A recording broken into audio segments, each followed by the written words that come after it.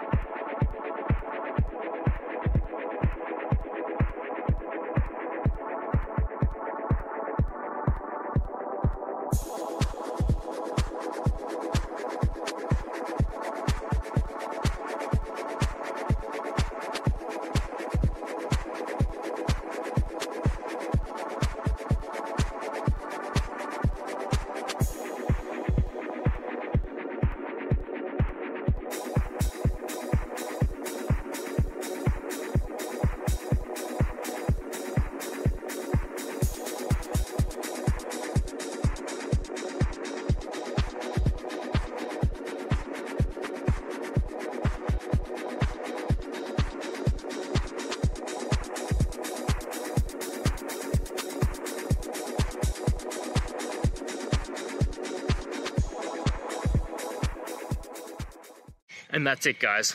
I hope that video helped find the resolution you're looking for. If it did, please, I'd appreciate it if you could hit subscribe. Until the next time you need more technical help, I hope you have a good one. Cheers.